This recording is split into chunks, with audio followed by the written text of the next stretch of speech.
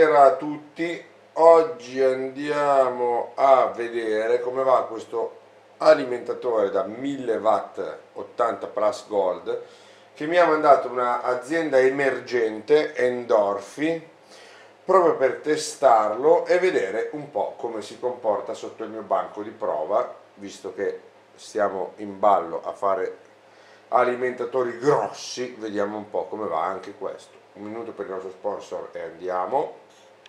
Il nostro sponsor di oggi come sempre è CDK Deals nel sito VIP dove possiamo trovare key di ogni genere sia di giochi che di Windows 10, Windows 11, Office eccetera eccetera.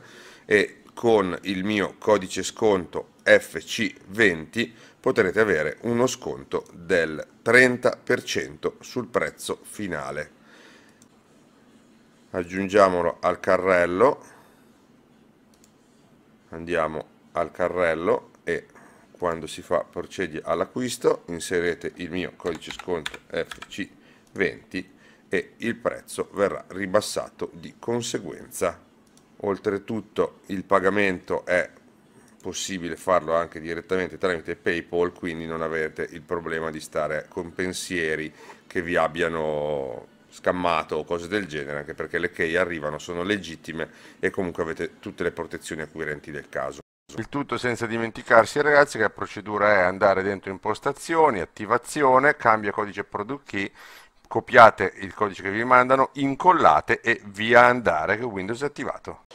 Allora, fatte le tutte premesse, andiamo a vedere che ha 7 anni di garanzia che alla Fluctus Fan, che non so cosa voglia dire ma va bene, 100% condensatori giapponesi, andiamo a vedere tra poco, diciamo a fine video, ma mi fido abbastanza, che è molto silenzioso.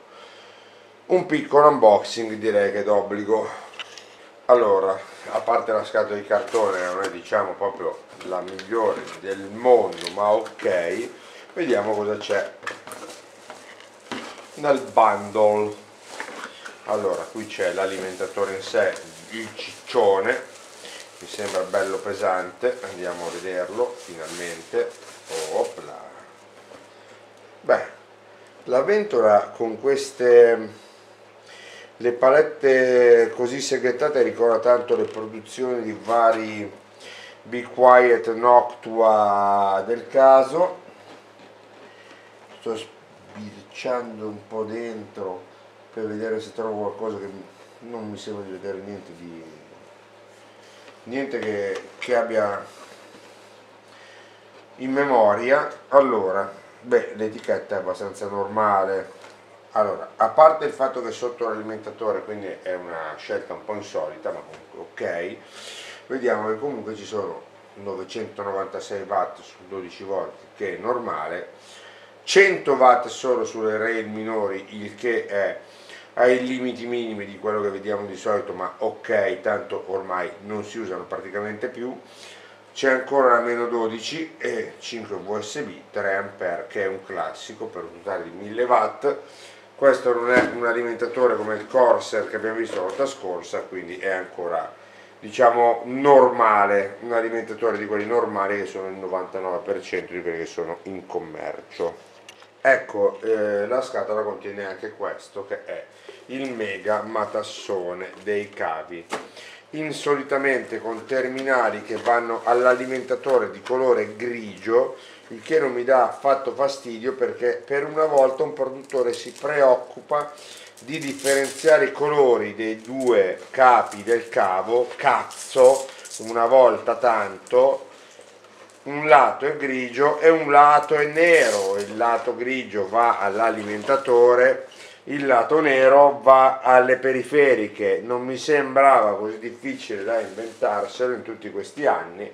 Accidenti qualcuno ci ha già pensato qualche volta mi fa piacere che anche loro ci abbiano pensato perché ci voleva proprio eh? non è che una cosa che voglio dire a un neofita dia fastidio perché ti aiuta e comunque la quantità di cavi direi notevole. Qui abbiamo PCI Express un connettore per cavo che mi piace. Mi piacciono i PCI Express che non si sdoppiano sullo stesso filo un altro PCI Express uguale. Questi sono dei SATA bene. Cavo CPU quindi EPS classico. Questo è PCI Express ancora sono 4 altri. SATA questo è l'ATX è appeso gli va insieme un altro CPU e qui altri SATA. Molex non ne ho visti ma forse eccone qua uno per esempio che qualcuno che dovesse avere la necessità. Qualcosa c'è quindi diciamo la dotazione di cavi è del tutto consona e mi piace non vedere PCI Express che si sdoppiano perché non è un alimentatore per fare mining ma un alimentatore da gamer quindi ci sta, è giusto. A questo punto direi di vedere come va. Vediamo un po' ho le scale un po' sballate.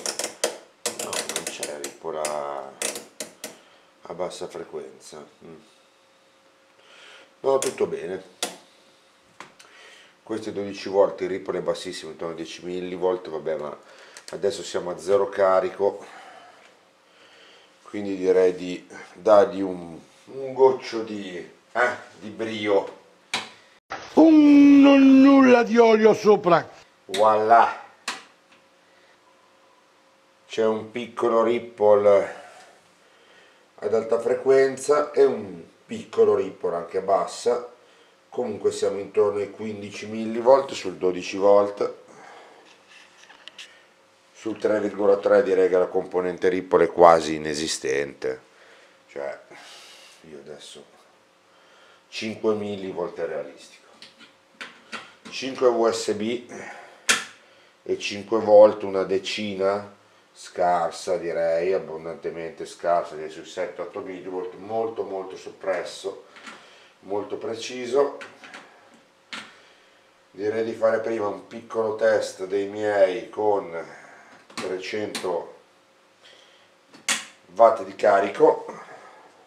Come vedete la tensione su 12 volte è molto precisa 12,00 addirittura e 292 watt di carico assorbito per 319,7 assorbiti alla presa il che ci dà un'efficienza intorno al 92% che è più o meno quello che otteniamo con tutti gli alimentatori gold di ottima qualità. Quindi direi tutto bene anche da quel punto di vista. A questo punto direi di andare con una piccola prova delle rail minori mettendole tutte al massimo tanto per fare qualcosa di diverso Dio vediamo il 3,3 il 5 volt e il 5 USB che non hanno fatto una piega. Ritornerei quindi su 12 volt faccio notare che le rail minori da sole hanno portato il consumo complessivo a 402 watt rispetto ai 317 di prima quindi c'è una bella 85 watt in più che quello che assorbono tutti i miei carichi minori.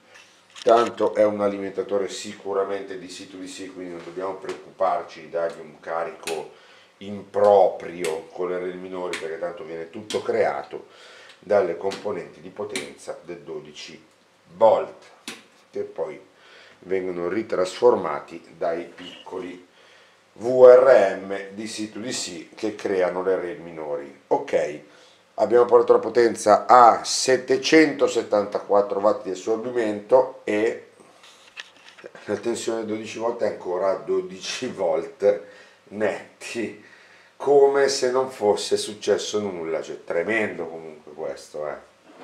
ragazzi stabilità stabilità assoluta. Adesso è diventato 11,99 nel frattempo teniamo d'occhio il ripple dei 12 volt che è arrivato ai suoi buoni. Ho detto una botta. No io direi che 25 millivolt li prende. Accidenti un'enormità. Direi tutto benissimo.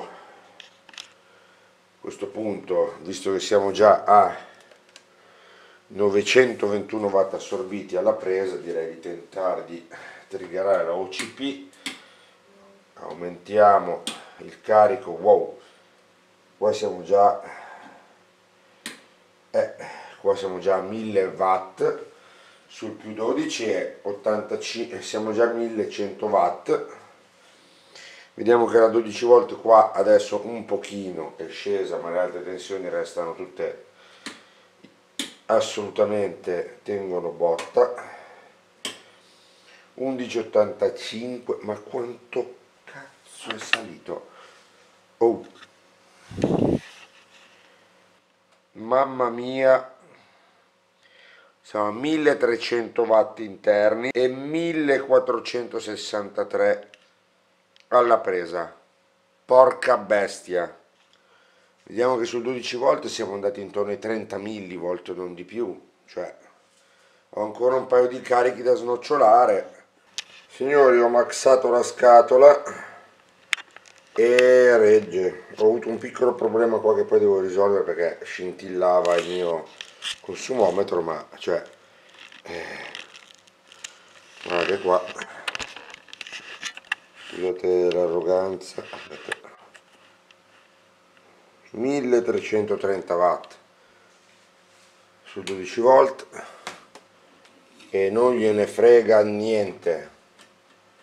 Tutti i carichi minori sono attivi quindi siamo più di 1400 watt. Guardate se non ci credete.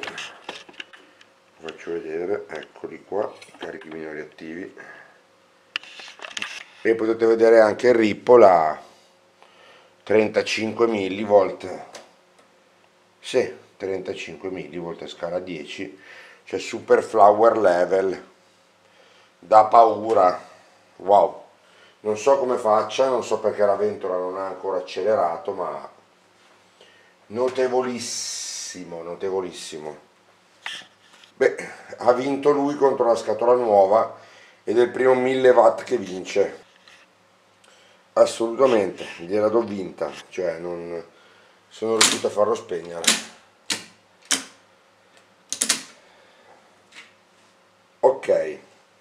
Tensione era 11,82 terminale l'abbiamo vista credo. E torna a 12,08 a zero load l'escursione del delta V è bassissimo tra full load e zero load. Alimentatore della madonna. Guardiamoci dentro andiamo quindi ad aprirlo e vediamo un po' che cosa c'è dentro di bello visto anche che la performance, la performance è stata eccellente. Andiamo a vedere un po' allora a parte la ventola che è una strana fluctus con delle palette mai viste che ricordano un po' delle Noctua che abbiamo visto ai tempi che sembra di molto alta qualità Ecco il ciccio in tutto il suo splendore, devo dire che non è niente male, visivamente compattissimo per essere un 1000 watt, soprattutto il trafo primario che ha questi ponti che sinceramente io credo di non avere mai visto prima, eh, molto particolari, comunque efficacissimo devo dire, componentistica tutta giapponese per quanto riguarda i condensatori che sono tutti Nichicon, tutti in assoluto. Design mi hanno detto dalla casa produttrice che è Sama, vediamo che comunque sia la piattaforma che anche il piccolo schedino che fa da filtro sul ricettacolo 220 hanno anche il marchio Endorfi che praticamente ha personalizzato questo alimentatore con il suo logo perché ha lavorato insieme a Sama a quanto pare nella realizzazione dello stesso. Vediamo qui un po' di condensatori polimerici al secondario. Quelli che non sono elettrolitici dovrebbero comunque essere tutti Nichicon se non ho capito male. Qua vediamo la circuiteria di C2DC devo dire un alimentatore veramente molto molto ben fatto. Abbiamo visto questo alimentatore all'opera devo dire che ha dimostrato di avere una qualità del tutto eccellente nonché una resistenza che fa gara con i super flower dei vecchi tempi che vi ricorderete visto che è arrivato a dei tetti di potenza in overpower molto più alti di quelli che siamo abituati a vedere e comunque ha resistito in specifica non sono riuscito nemmeno a farlo spegnere con la mia scatola nuova il che non è proprio da tutti soprattutto non è molto da 1000 watt. Eh, Diciamo che questo è sicuramente un punto a favore per chi avesse velleità di usarlo allo stremo della potenza, per quanto per moltissimi di voi non sia un punto particolarmente importante perché comunque se compri un alimentatore da 1000 watt più di 700-750 non credo che glieli tirerai addosso. In questo momento è in vendita da Amazon vi lascerò anche il link in descrizione a 162 euro, il che devo dire che è un prezzo davvero niente male per un alimentatore da 1000 watt di questa caratura, di questa qualità. Ripeto, l'OM è Sama, noi abbiamo già visto un po' di prodotti Sama eh, sui vecchi alimentatori vecchi relativamente perché sono comunque ancora in commercio dell'high-tech e abbiamo visto che comunque non ci hanno mai deluso e non so sinceramente se questa piattaforma qui è uguale a quella high tech o no. Mm, il trafo sono sicuro che è diverso perché non l'avevo mai visto. La componentistica è full Japan comunque in questo caso quindi sinceramente ragazzi consigliatissimo. Detto questo ci vediamo alla prossima e ciao a tutti